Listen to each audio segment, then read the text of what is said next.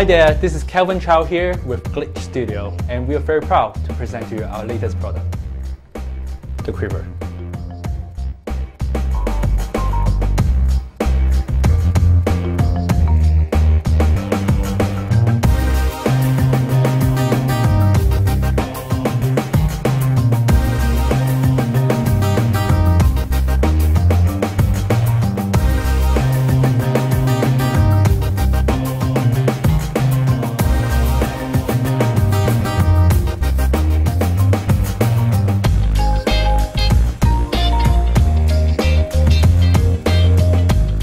Those are just few of the many things you can do with this device.